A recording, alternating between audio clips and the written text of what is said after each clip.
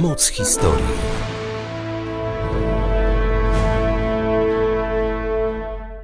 Dzień dobry, witamy Państwa jak zwykle we wczesne niedzielne popołudnie. Cezary Jastrzębski z Uniwersytetu Jana Kochanowskiego w Kielcach i Robert Szumielewicz. Jesteśmy trzy dni po 159. rocznicy bitwy pod Małogoszczem, która miała miejsce 24 lutego 1863 roku. To jedna z najważniejszych bitew y, powstania styczniowego. No i nie sposób o niej nie wspomnieć, bo poza tym, co wiemy o samej bitwie, to związanych z nią jest sporo tajemnic, które dziś postaramy się Państwu przybliżyć, ale zaczniemy oczywiście od samej bitwy, od jej przebiegu, no i jak to wszystko wyglądało. Tak jest w przypadku naszego regionu, że akurat jeśli mówimy o różnego rodzaju działaniach, dotyczących walk narodowo-wyzwoleńczych, no to właściwie to jest taki nieskończony temat. Nieustannie o różnych sprawach moglibyśmy mówić i, i właściwie każdy dzień mógłby być rocznicą jakiegoś istotnego wydarzenia.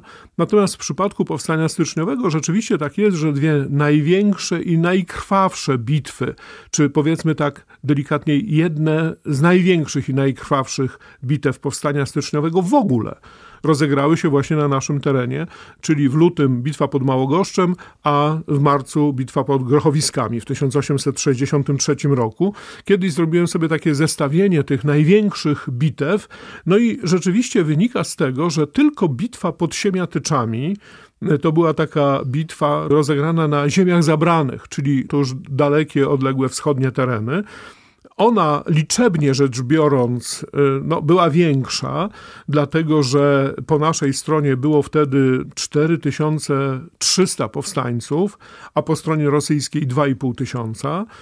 A tymczasem pod Małogoszczem po naszej stronie było 2600 powstańców, czyli no znacznie mniej. Po rosyjskiej stronie niewiele mniej, bo tam 2,5 tysiąca, a w naszym przypadku 2 tysiące. Czyli liczebnie no mniejsza, natomiast jeśli chodzi o straty, no to porównywalna, a nawet bardziej krwawa była nasza pod Małogoszczem, bo wprawdzie na cmentarzu w Małogoszczu jest mogiła, w której spoczywa zgodnie z informacją 175 powstańców, ale przecież y, są jeszcze rozsiane groby powstańców, uczestników bitwy małogoskiej w okolicy y, i jakbyśmy zaczęli liczyć te kolejne pochówki, no to już znacznie powyżej 250 takich pochówków moglibyśmy się doliczyć. No i po stronie rosyjskiej w Siemiatyczach to było około 70 poległych, natomiast oczywiście, no, gdybyśmy wzięli pod uwagę raporty rosyjskie, to by się okazało, że w jednym raporcie było, że pięciu tylko poległo, a w drugim, że w ogóle nikt nie poległ po stronie rosyjskiej, co oczywiście jest śmieszne przy takiej skali wydarzeń i przy bitwie, która trwała mniej więcej od godziny 9 do 17.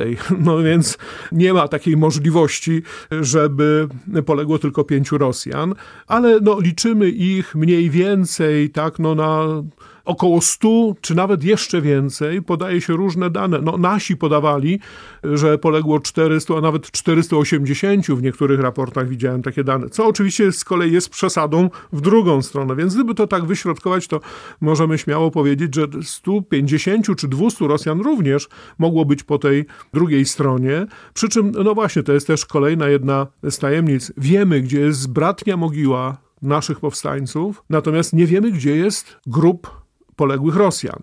A przecież nikt ich nie wywoził nie wiadomo dokąd, tylko po prostu na miejscu ich e, gdzieś pochowano. E, ja kiedyś myślałem, że być może na Sabianowskiej Górze, bo tam jest taki krzyż, na, na Krzyżowej Górze też jest krzyż i obelisk nawet, ale tam raczej nie. Natomiast być może na Sabianowskiej, ale musimy też pamiętać znów, że w Małogoszczu miały miejsce dwie bitwy powstania styczniowego. Druga odbyła się we wrześniu 1863 roku. No i dowodził tam pseudonim Iskra, który później został za gwałty, rabunki e, rozstrzelany. Więc no taka powiedzmy y, niezbyt ciekawa karta y, w dziejach naszych walk. I obok tej zbiorowej mogiły z pierwszej y, bitwy jest zbiorowa mogiła tych, którzy polegli w drugiej bitwie. I tam znowu może kiedyś we wrześniu, gdyby była właśnie okazja, będzie wtedy rocznica, to o tej bitwie powiemy, tej drugiej.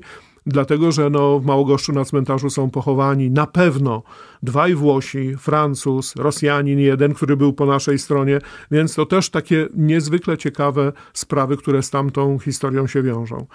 No i to porównanie o tyle jest interesujące, że kiedy mówimy jedna z największych albo gdy nawet powiemy największa i najkrwawsza, to rzeczywiście nie bardzo się mylimy. Pod grochowiskami, jeśli chodzi o ofiary, no to wiemy, że mniej więcej po 300 powstańców i żołnierzy rosyjskich poległo, więc bardziej krwawa ale gdy powiemy jedna z tych takich największych i najkrwawszych w ogóle, to rzeczywiście w tej trójce takich bitew bitwa pod Małogoszczem się mieści. Przejdźmy już do samej bitwy, jak e, ona wyglądała.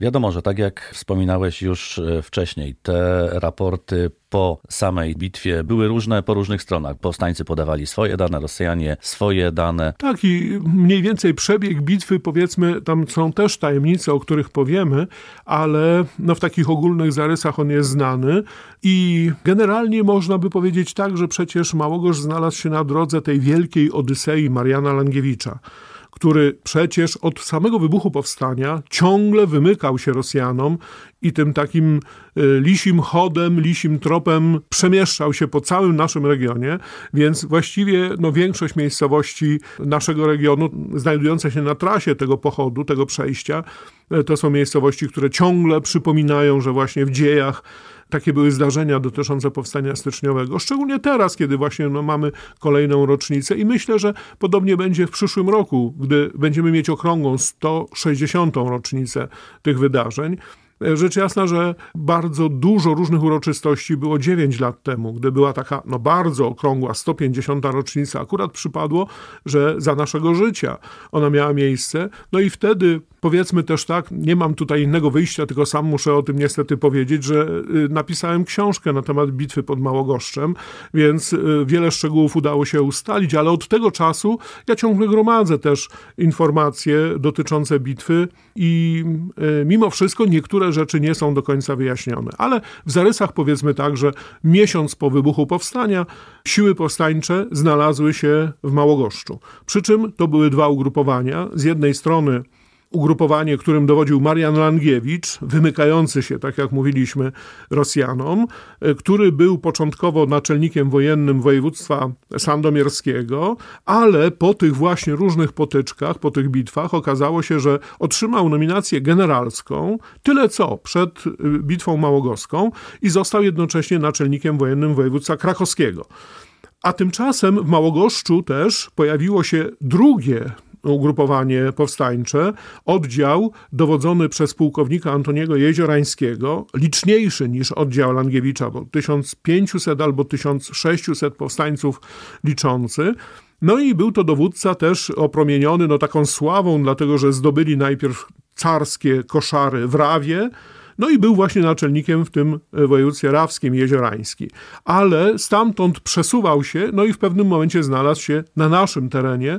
E, to jest o tyle istotne i odgrywało to dużą rolę, że decyzją rządu narodowego na danym terenie rządził ten i dowodził ten, kto był naczelnikiem wojennym dla tego terenu.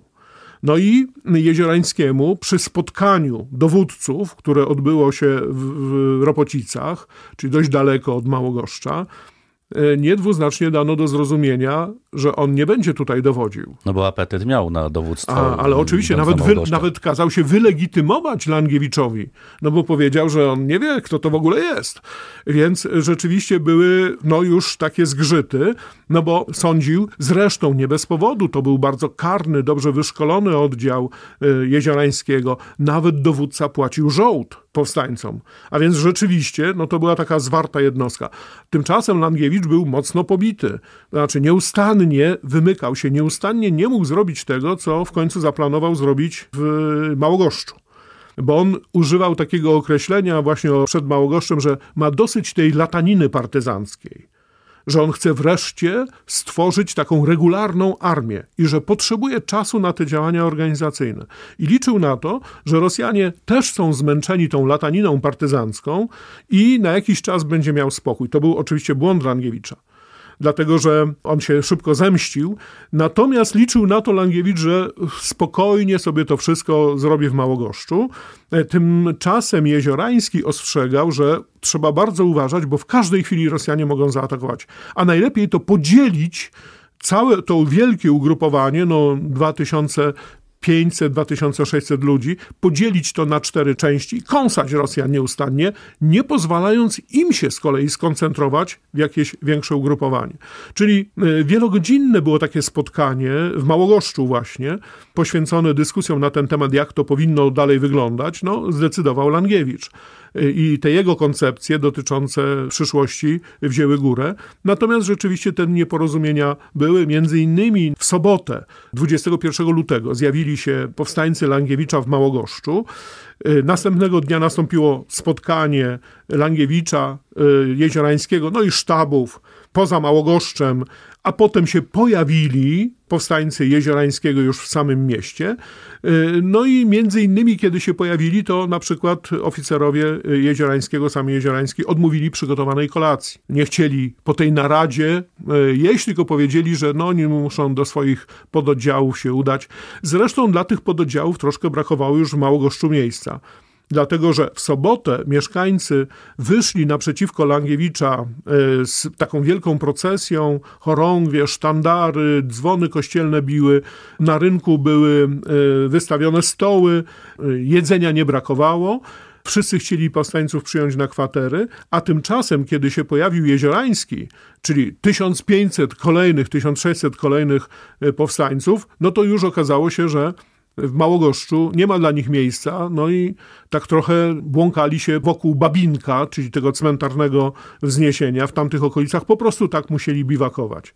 No ale niezależnie od tego, kiedy już pojawili się Rosjanie, no to sytuacja całkiem inaczej wyglądała, bo było wiadomo, że dowodzi Langiewicz, ale na pewno był zaskoczony tym, że e, około godziny 9, 24 lutego, to był wtorek, od strony Chędzin przyjechała jedna z kurierek, jedna z sanitariuszek powozem i z daleka już krzyczała, że nadchodzą Rosjanie, nadchodzą Rosjanie. To była część Rosjan, która od strony Chęcin pod dowództwem podpułkownika Włodzimierza Dobrowolskiego atakowała Małogoszcz. No i oni, kiedy zbliżali się już do miasta, zauważyli, że powstańcze oddziały zaczęły zajmować Górę Krzyżową, czyli jak jedziemy od strony Kielc, E, no to kiedy przekroczymy rzekę zwaną Wierną Rzeką, to wtedy wyłania nam się po prawej stronie góra Brogowica, a następnie jest Krzyżowa Góra w pobliżu stacji benzynowej, e, dzisiaj e, istniejącej w Małogoszczu, czyli tam przy drodze do cementowni. Więc Langiewicz skierował oddziały na Krzyżową Górę, żeby tu stawiły opór, i to były oddziały strzeleckie pod dowództwem majora Grudzińskiego i w osłonie byli kosynierzy pod dowództwem Dąbrowskiego. Musimy pamiętać, że było dwóch Dąbrowskich podczas tej bitwy. Jeden był właśnie dowódcą e, kosynierów, a drugi był dowódcą artylerii. Ten dowódca artylerii był wcześniej oficerem pruskim i on zginął pod Małogoszczem a ten drugi, dowodzący kosynierami, Dąbrowski też, przeżył bitwę, potem brał udział w kolejnych, a nawet na koniec był w Legionie Meksykańskim. Potem wrócił do naszego kraju i w Krakowie zajmował się kupiectwem. Zmarł na początku XX wieku, a w ogóle pochodził z Podwąchocka. No więc to są takie bardzo ciekawe też sprawy dotyczące uczestników bitwy. W każdym razie, e, już w skrócie, żebyśmy te, o tej bitwie powiedzieli, a, a odnieśli się trochę do tajemnic, e, powiedzmy sobie tak, że to wyglądało właśnie w ten sposób, że e, gdy Dobrowolski to był Polak, który był na carskiej służbie, był renegatem, i zdrajcą narodowym. Gdy Dobrowolski zobaczył, że przemieszczają się tam powstańcy koło tej krzyżowej góry, no to już rozwinął się do ataku ale okazało się, że no już z daleka Rosjanie mogli strzelać, natomiast nasi nie byli w stanie, bo mieli gorszą po prostu broń. E, więc czekali, aż Rosjanie się zbliżą, no tym bardziej byli Rosjanie rozochoceni. E, no i już myśleli, że dojdzie do jakiegoś przełamania, tym bardziej, że w nasze szeregi wkradła się panika. E, i część e, powstańców z Krzyżowej Góry zaczęła uciekać w stronę miasta. Wtedy Anna Henryka Pustowójtówna, która była jako kobieta, e, to też jest w tamtych czasach nie takie codzienne, była adiutantem Langiewicza od czasów Staszowa. Ona powstrzymała tych uciekających, ogarniętych paniką. po prostu na polu walki ich tam pałaszem okładała i mówiła, że nie powinni uciekać. No i powstrzymali się trochę. Tym bardziej sytuacja uległa opanowaniu, że kiedy już Rosjanie byli pewni, że no, jakiś sukces osiągną, to wtedy od prawej strony zaatakował ich batalion dowodzony przez słynnego Dionizego Czachowskiego. On potem przecież miał już swoją własną legendę pod bitwą pod Grochowiskami, więc wspaniała postać. Zginął, jak mam nadzieję pamiętamy, w okolicach Ostrowca już w ostatniej fazie e, powstania styczniowego. Natomiast tutaj, na tej Brogowicy, kiedy siedział, to będąc wytrawnym dowódcą, wiedział, że nie ma się co wygłupiać i tak od razu dawać znać, że tu jesteśmy na Brogowicy, tylko najlepiej przeczekać i uderzyć Rosjan z boku. Dobrze pamiętam to z takiego poligonu, gdy sam byłem w wojsku, gdy odbyliśmy właśnie takie ćwiczenia i jako podchorążowie rezerwy poszliśmy do ataku, hurra, do ataku, lecimy na nieprzyjaciół, czyli naszych kolegów, którzy byli po drugiej stronie, ale nami dowodził kolega, sierżant podchorąży, a po drugiej stronie był zawodowy wojskowy. I ten zawodowy wojskowy podzielił naszych kolegów na dwie części. Jedną część ustawił po naszej lewej stronie. I my lecimy do ataku, a potem oni do nas otworzyli ogień i wszyscy polegliśmy. Niestety tak to wyglądało, że właśnie zawodowy wojskowy wie często bardzo dobrze, jak to wszystko zrobić. No i Czachowski tak to dokładnie zrobił, tylko z prawej strony zaatakował. I w pewnym momencie okazało się, że Rosjanie mówią: U, co tutaj się dzieje? Mamy ogień od prawej strony, atakuje ktoś nas, zachodzi nam tyły, zaczyna nas okrążać, czyli zaraz będziemy w środku i polegniemy wszyscy. No i tak by rzeczywiście mogło być. Natomiast niestety okazało się około godziny 11, że raptem od strony Jędrzejowa dano znać, że pojawia się kolejny oddział rosyjski. No i to był oddział pod dowództwem majora Siergieja Gołubowa, który zaatakował Małogosz teraz z innej strony, no i zaczął spychać powstańców. Za chwilę miasto zaczęło płonąć na skutek ostrzału artyleryjskiego przez Dobrowolskiego poprowadzonego. No więc zaczęła się walka o każdy dom, o każdy kamień. Z tej krzyżowej góry raptem nasi zostali zepchnięci.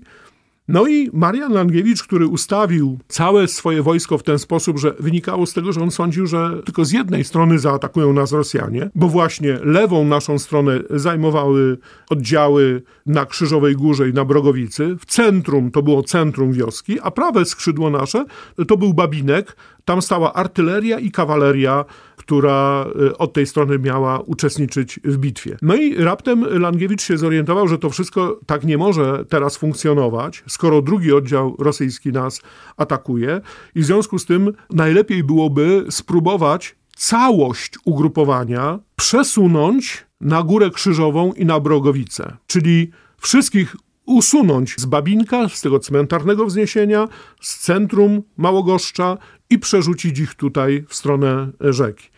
No i kiedy y, zaczęły być wykonywane te ruchy, oczywiście no to one są wtedy improwizowane w dużym chaosie, to wszystko nie jest takie oczywiste, przecież kilka tysięcy osób uczestniczy w tych wydarzeniach, no to ten dowodzący y, rosyjskimi oddziałami Dobrowolski y, zauważył, że dzieją się pewne ruchy i zaczął się wbijać klinem w nasze ugrupowanie. I rzeczywiście wrzynał się coraz mocniej, i teraz on był w takiej sytuacji, że za chwilę mogło się okazać, że przebije się przez naszą linię i zacznie nas okrążać, no i weźmie nas w kocioł. No i wtedy byłoby już bardzo niedobrze. W związku z tym Langiewicz podjął decyzję, że ktoś musi się poświęcić, żeby nas wybawić z tej sytuacji. No i wydał rozkaz kawalerii, żeby przeprowadziła szarżę, która zatrzyma ten wbijający się klin i powstrzyma te oddziały Gołubowa, żeby one się coraz bardziej nie wbijały do Małogoszcza. No i tę szarżę poprowadził kapitan Stanisław Jaszowski, Oddział kawalerzystów w połowie na miejscu został wybity do nogi, zginął też sam dowódca, natomiast ich poświęcenie spowodowało, że wystarczyło czasu do przesunięcia się wszystkich wojsk naszych właśnie w stronę Krzyżowej Góry w stronę Brogowicy. No i Langiewicz zarządził odwrót, czyli spokojnie zaczęliśmy wycofywać się z pola walki, ale tak jak w wielu przypadkach w czasie tej bitwy znów był pewien zwrot akcji dlatego że okazało się, że w pewnym momencie od strony północnej, czy od strony stacji kolejowej dzisiejszej, pojawił się trzeci oddział rosyjski pod dowódcą pułkownika Ksawerego Czengierego, który był dowódcą 25. Smoleńskiego Pułku Piechoty w Kielcach. No i ten trzeci oddział raptem doprowadził do tego, że znaleźliśmy się w takiej sytuacji, że wydawało się, że no nas zgniotą kompletnie. Ale wtedy stojący ciągle na Brogowicy Czachowski trzymał w ryzach całą bitwę, czyli strzegł tej przeprawy, bo zaczęli się nasi przeprawiać przez wierną rzekę. Tu zresztą znowu Anna Henryka Pustowójtówna e, doprowadziła do utworzenia takiej tyraliery i rozwijający się do szarży dragoni carscy w pewnym momencie się zatrzymali, bo doszli do wniosku, że jak jest już taka linia utworzona strzelców, no to nie ma się co wpychać.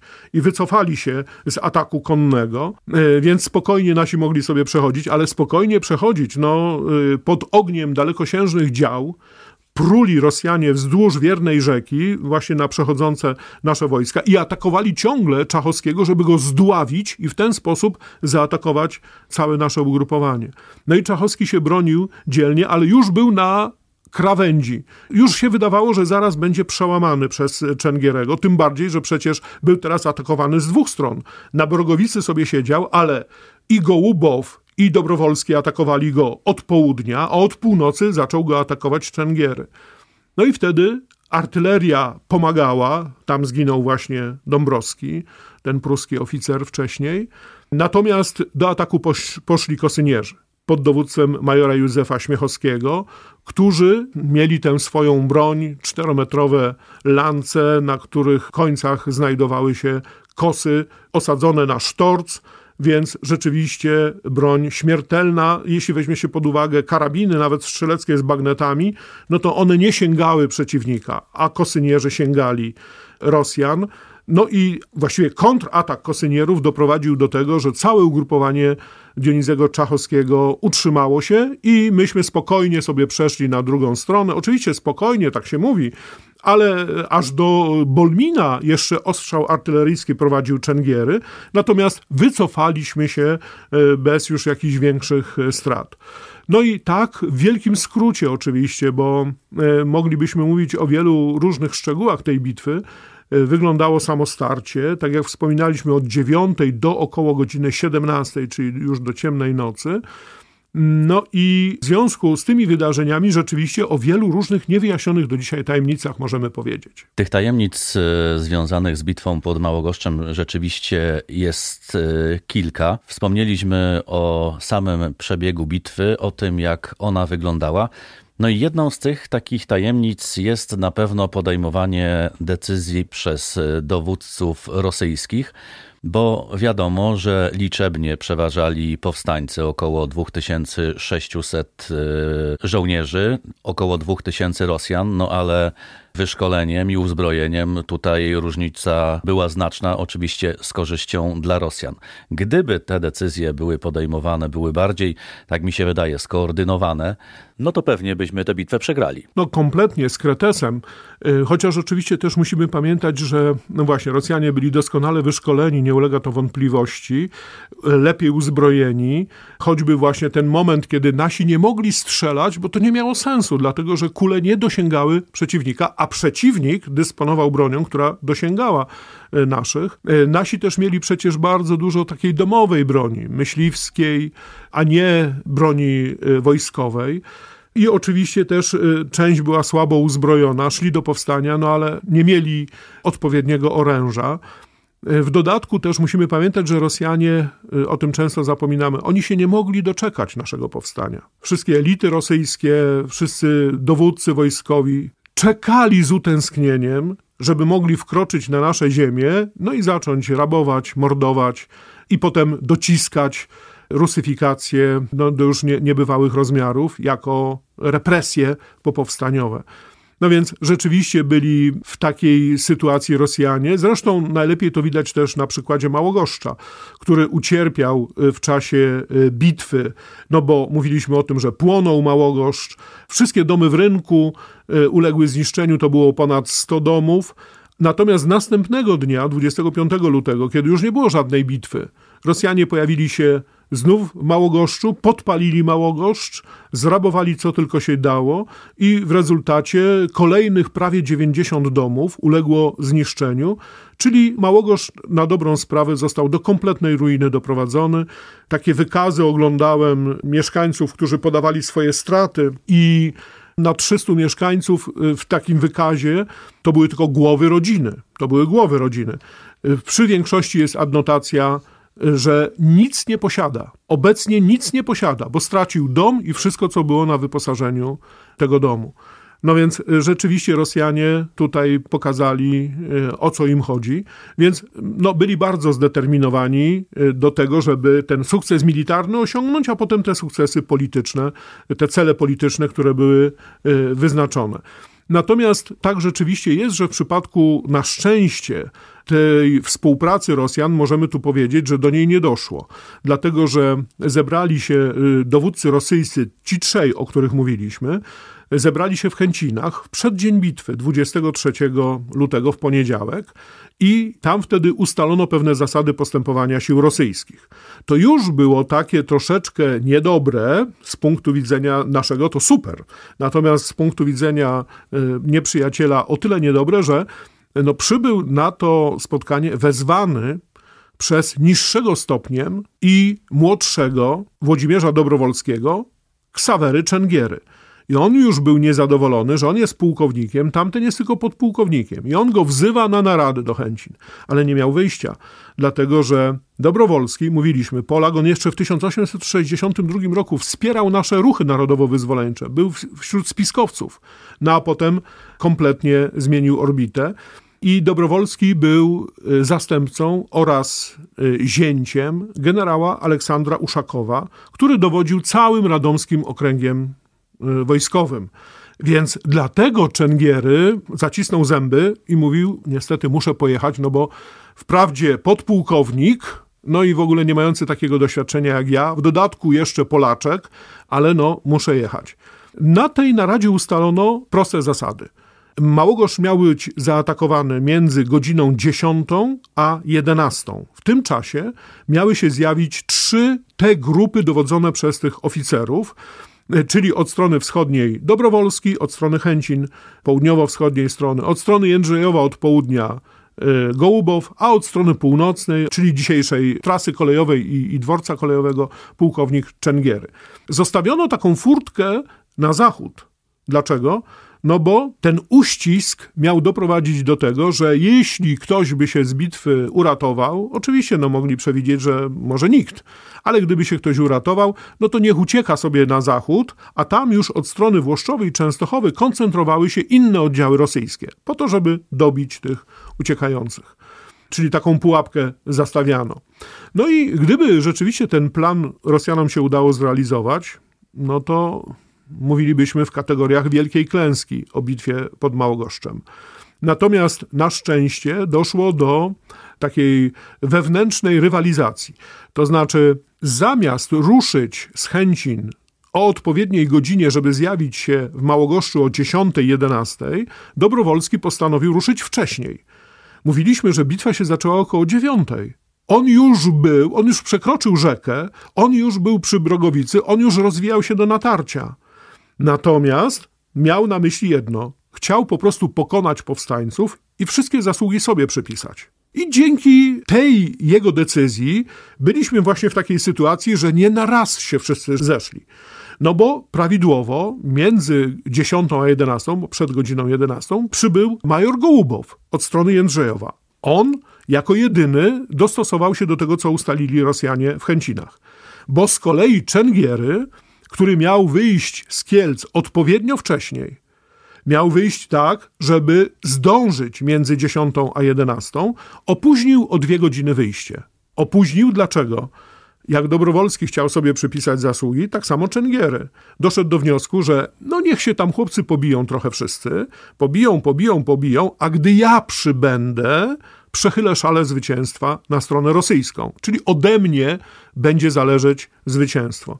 I w związku z tym celowo się spóźnił. To nas uratowało, więc możemy powiedzieć, że rzymska zasada divide ad impera, czyli dziel i rządź, no, stosowana w socjotechnice, takiej politycznych też działaniach różnych, e, sprawdza się. I Rzymianie starożytni mieli rację. Jak podzielimy kogoś, to łatwiej potem się nimi rządzi. Podzielili się Rosjanie, no i dzięki temu rzeczywiście Langiewicz miał czas na wykonywanie tych różnych e, założeń, Y, na polu walki, w zależności od tego, co się działo, i mógł reagować na poszczególne y, sytuacje. No jednym z tych manewrów, o którym mówiliśmy, była szarża kawalerii kapitana Jaszowskiego, która e, dała szansę na to, że pozostała część wojsk powstańczych e, mogła się wycofać. To wszystko wiemy, tylko nie bardzo wiemy do dziś, i to jest ta kolejna tajemnica, którą chcielibyśmy wyjaśnić, gdzie to wszystko się odbyło. No i chyba będzie to bardzo trudne niestety do wyjaśnienia dlatego że wspominaliśmy o tym, iż e, początkowo kawaleria, ale właśnie kapitan Stanisław Jaszowski był w tym oddziale, którym dowodził Jeziorański wcześniej. Natomiast była jeszcze kawaleria, y, która znajdowała się w tej grupie y, Langiewicza i nią dowodził Ulatowski. Natomiast trudno powiedzieć, czemu Langiewicz nie wziął swoich własnych kawalerzystów. Oni byli bliżej, bo mówiliśmy o tym, że Jeziorański stał na Babinku. Po środku było centrum naszego ugrupowania, a na Krzyżowej Górze i na Brogowicy było nasze lewe skrzydło. I kiedy okazało się, że no właśnie na tej Krzyżowej Górze tam będzie się coś rozgrywało i wbija się klinem Dobrowolski, to wtedy bardzo blisko była kawaleria Ulatowskiego, czyli ta, którą znał Langiewicz od samego początku y, jego Odysei.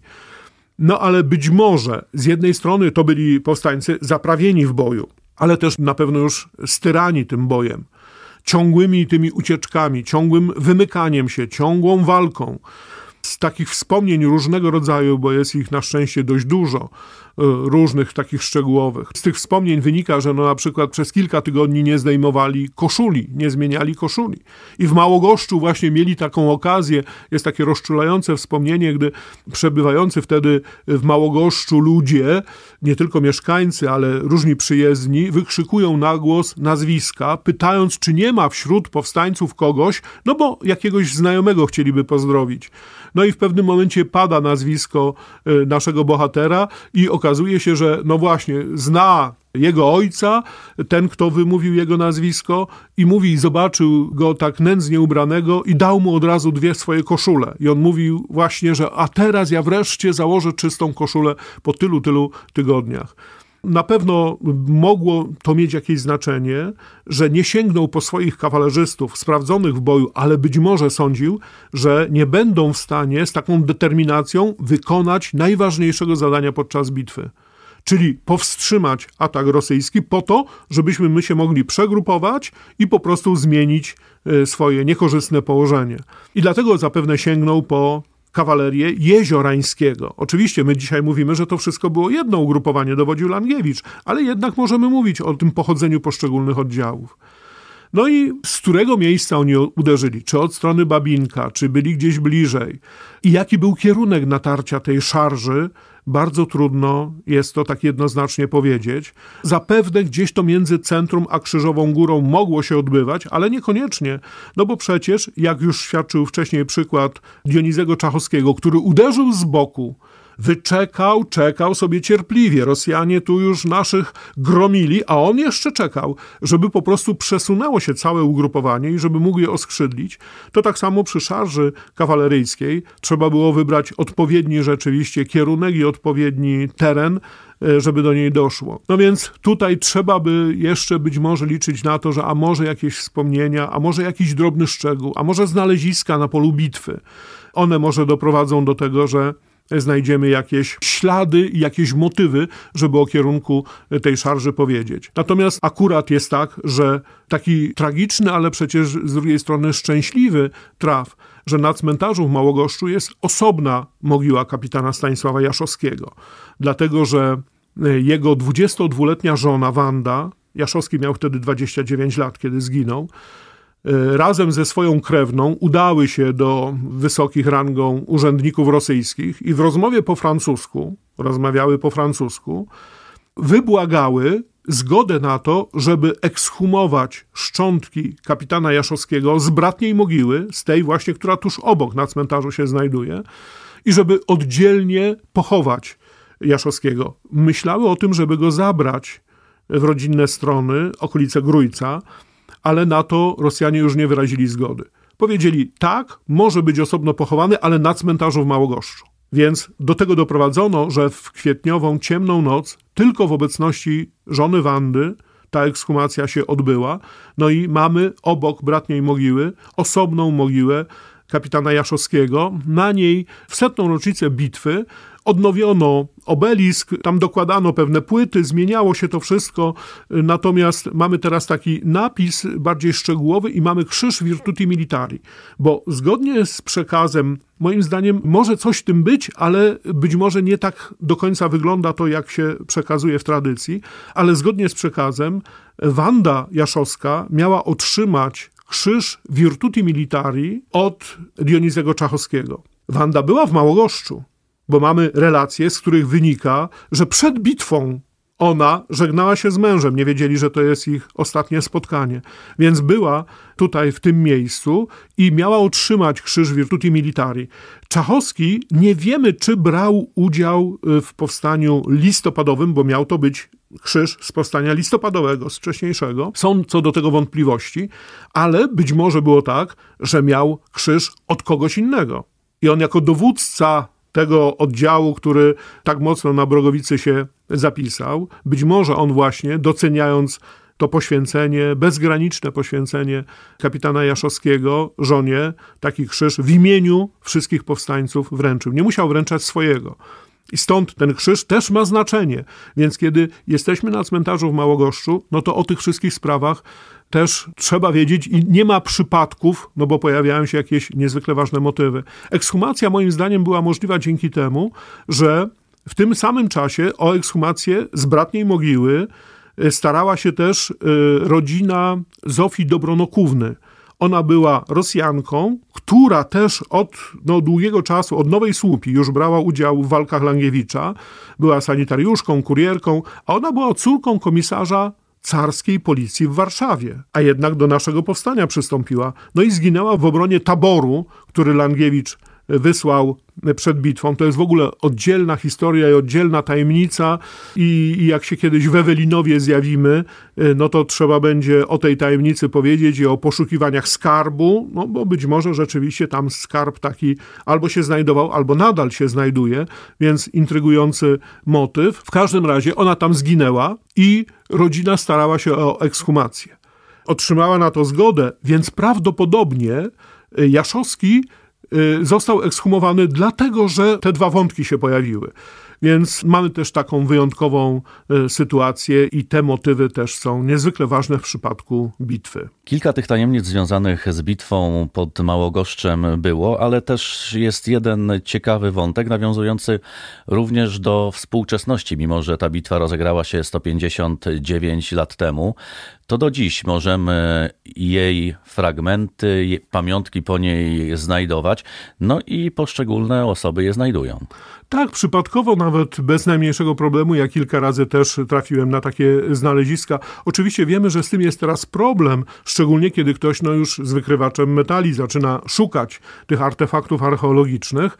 Natomiast rzeczywiście tak jest, że no, mieszkańcy mają dość dużo tych pamiątek. Od lat je przecież gromadzili, kiedy no, nie było nawet przepisów regulujących te sprawy. I to są takie pamiątki, które z jednej strony dotyczą militariów, a więc na przykład pociski takie właśnie od broni karabinowej, ale też pociski, kule od broni myśliwskiej, czyli wiadomo, że to raczej było po naszej stronie. Różny jest kaliber tej broni strzeleckiej, więc na różne można się natknąć. Są również takie znaleziska, które dotyczą tak zwanej biżuterii powstańczej. I to w Małogoszczu też się często znajduje, bo między innymi mówiliśmy, że no rodziny, znajomi przebywali tutaj w czasie, między innymi przed bitwą, w czasie bitwy, po bitwie. E, więc nic dziwnego, że tam się znajduje tak zwaną czarną biżuterię bo kobiety nosiły tylko i wyłącznie y, już w okresie manifestacji patriotyczno-religijnych przed powstaniem styczniowym czarną biżuterię i po powstaniu, no to już bezwzględnie tylko i wyłącznie czarną biżuterię. I takie znaleziska są. Są również takie, no właśnie, znaczki pamiątkowe, takie o znaczeniu y, patriotyczno-religijnym, czyli na przykład motyw kotwicy, znany nam przecież z II wojny światowej. To był też motyw, który podczas powstania styczniowego był wykorzystywany. I zapewne też wiele osób myśli o tym, chociaż nie wszyscy o tym wiedzą, że kiedy przekraczano wierną rzekę, już w tym odwrocie, to wtedy zapadła decyzja, żeby zachować śmigownicę jako no, lżejszy kaliber i łatwiejszą do transportu, a żeby zatopić dwa działa z artylerii. Mieliśmy cztery działa tylko, no i y, ciągnięto je, y, zostały tutaj tylko dwa już w ostatniej fazie bitwy, no i te dwa postanowiono zatopić, więc one gdzieś tam sobie leżą i czekają.